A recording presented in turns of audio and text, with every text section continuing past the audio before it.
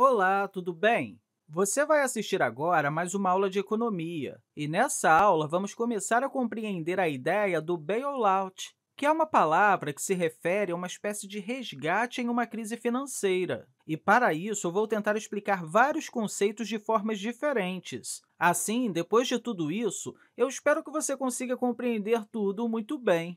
Algo que eu posso começar falando aqui é que existe muita fantasia em relação a algumas terminologias que eu vou utilizar nesse vídeo. Porém, os conceitos por trás dessas terminologias são muito importantes e nada fantasiosos. Enfim, vamos começar. E a melhor forma da gente começar a compreender tudo isso é através de uma planilha de balanço. Inclusive, existem outros vídeos na qual é apresentada uma planilha de balanço e você pode ver como se faz isso muito bem principalmente porque é através dessa planilha que você consegue ver qual é, de fato, a sua riqueza, ou, de forma correta, o seu patrimônio líquido. E a forma simples de ver isso é realizando um balanço patrimonial através da diferença entre os seus ativos e os seus passivos. Então, vamos fazer isso aqui agora. Vamos começar colocando em uma coluna os ativos. De forma bem simples e sem se aprofundar muito nisso, os ativos são coisas que vão te dar benefícios futuros.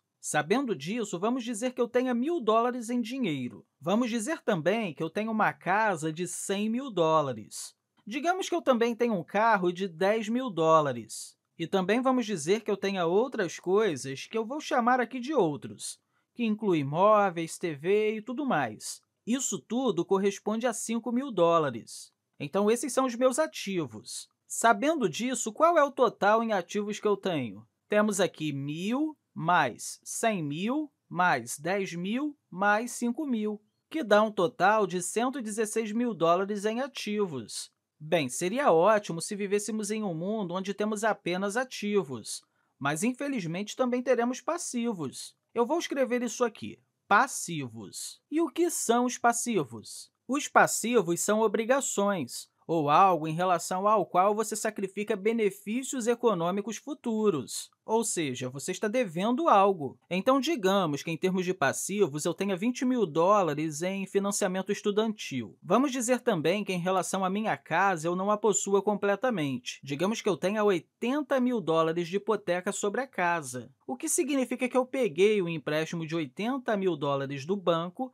e utilizei a casa como garantia. Esse valor também poderia estar se referindo ao financiamento da própria casa, do que a utilização da casa como garantia. Mas, enfim, a ideia é a mesma. Vamos colocar aqui também alguma dívida de cartão de crédito, um parcelamento talvez, só para tornar isso mais realista, já que muitas famílias possuem dívidas de cartão de crédito. Enfim, eu não vou fazer aqui agora discussões sociais, já que o objetivo dessa aula é discutir sobre o balanço patrimonial, mas questões como essa valem a pena ser discutidas em outro momento. Enfim, quanto que temos aqui de passivos? Vamos calcular as nossas obrigações aqui.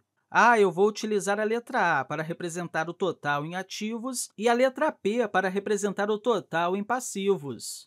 Então, qual é o meu total em passivos? 20 mais 80 mais 5, que é igual a 105 mil dólares. Então, temos 105 mil dólares em passivos. Conhecendo essas duas informações, ao calcularmos a diferença entre o meu total em ativos e o meu total em passivos, teremos essencialmente o meu patrimônio líquido, que eu vou representar com as letras PL. Se eu apenas liquidasse tudo amanhã, ou seja, se eu vendesse tudo isso e pagasse tudo isso aqui, isso é o que me restaria o que eu teria de fato. Portanto, esse é o meu patrimônio líquido. Ah, você também vai ouvir falar que isso se refere ao equity, uma palavra que é muito utilizada no contexto da economia para se referir ao patrimônio líquido. Mas, enfim, em todo caso, o que é esse número aqui? É o meu patrimônio líquido. E eu vou fazer isso aqui com uma cor esverdeada, porque se for algo positivo, teremos um bom número. Meu patrimônio líquido é 116 mil dólares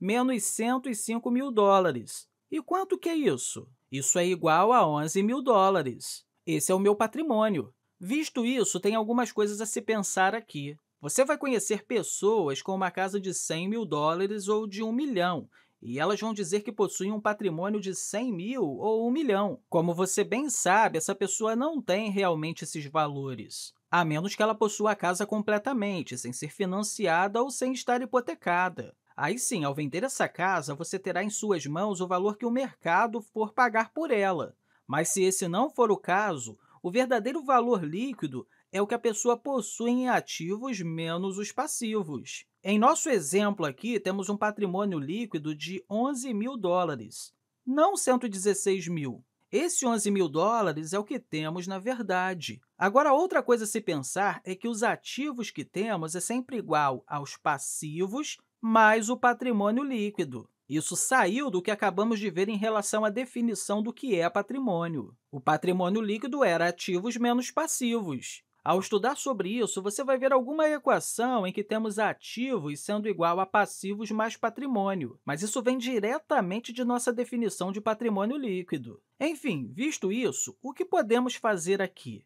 Bem, existem algumas coisas que podemos pensar sobre isso. Em primeiro lugar, o que acontece se o meu total em passivos for maior que o meu total em ativos? Ou seja, se eu devo mais ao mundo do que o mundo me deve? Bem, nesse caso, esse número vai ser negativo. E se esse número for negativo, então não há motivo para eu continuar funcionando, falando no sentido financeiro, claro, talvez apenas para preservar minha pontuação de crédito. Mas, fora isso, tirando isso da equação, é melhor eu declarar falência. Vamos pensar aqui melhor sobre essa situação em que o meu total em passivos é maior que o meu total em ativos. Digamos que a minha casa, de fato, vale 100 mil dólares, mas por algum motivo eu devo 120 mil dólares para o banco. Talvez eu tenha comprado a casa com o preço original de 120 mil dólares, sem dar nenhuma entrada, e agora a casa desvalorizou e esteja com um valor de mercado de apenas 100 mil dólares. Então, nessa situação, eu estou devendo mais do que o valor de mercado da casa.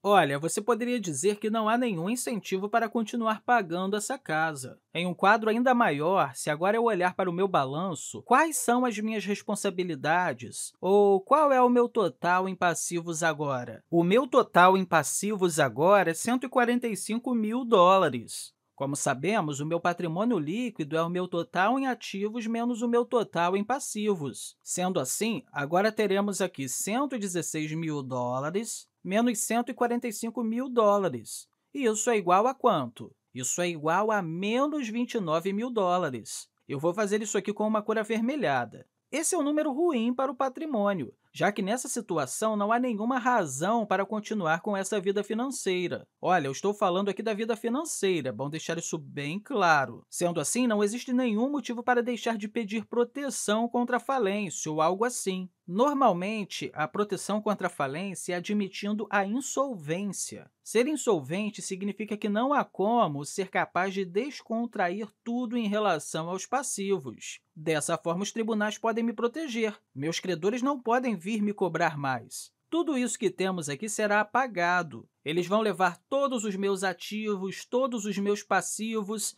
e tudo que eu tenho é dividido entre as pessoas a quem eu devo.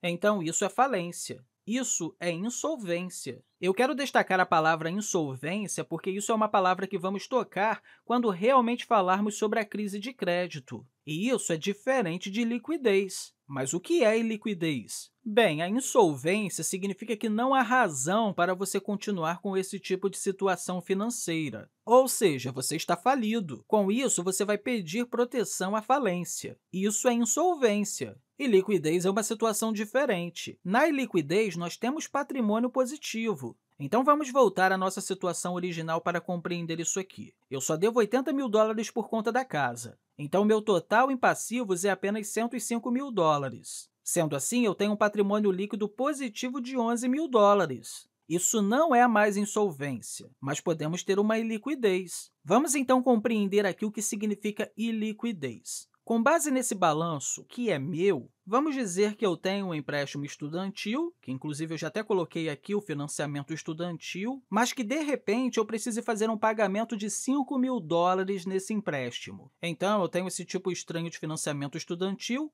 onde 5 mil dólares vem de repente para ser pago. Para isso, eu preciso obter rapidamente 5 mil dólares para realizar o pagamento desse financiamento estudantil. Eu vou escrever isso aqui, fazer um pagamento de 5 mil dólares. Eu estou usando esse exemplo, mas poderia ser qualquer outra coisa, ok? Enfim, ao olhar para o meu patrimônio líquido, que é o total em ativos menos o total em passivos, eu claramente tenho 11 mil dólares. E se eu pudesse liquidar todos os meus ativos e todos os meus passivos durante a noite, eu iria ter 11 mil dólares em dinheiro. Assim, eu poderia pagar 5 mil dólares. Na verdade, no processo de fazer isso, eu teria pago esses 5 mil dólares. Mas, nessa circunstância, se eu olhar para a minha situação, digamos que a data de vencimento para o pagamento do empréstimo estudantil seja amanhã e que eu só tenho mil dólares em dinheiro, talvez no bolso ou talvez em minha conta bancária, não importa o local, mas eu só tenho isso. Dessa forma, eu não posso pagar 5 mil dólares apenas com o meu dinheiro. Então, eu olho para tudo que eu tenho e penso, será que eu posso me livrar de algum ativo durante a noite? Bem, uma casa absolutamente não. De jeito nenhum eu vou ser capaz de vender a minha casa amanhã.